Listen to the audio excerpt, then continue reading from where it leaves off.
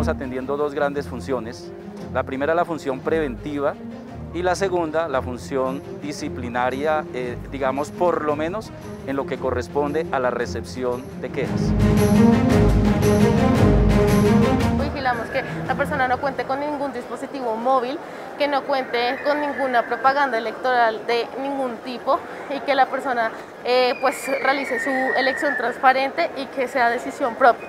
En estos cubículos pues revisamos también que nadie meta ningún tipo de papel por estas eh, eh, orillas y que pues la persona obviamente no den en tener alguna opinión frente a otros votantes.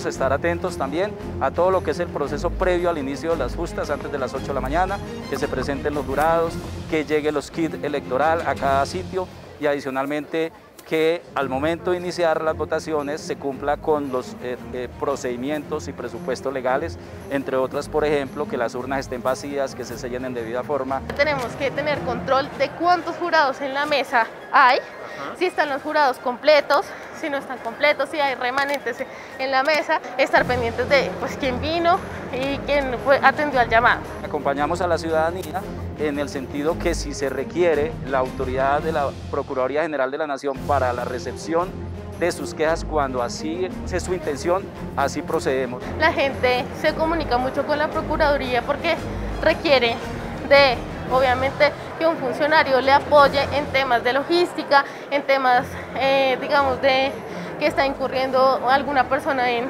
en algo malo. Que caso de que llegue a existir algún tipo de irregularidad, podamos estar ahí, digamos, recepcionando las distintas quejas de los ciudadanos.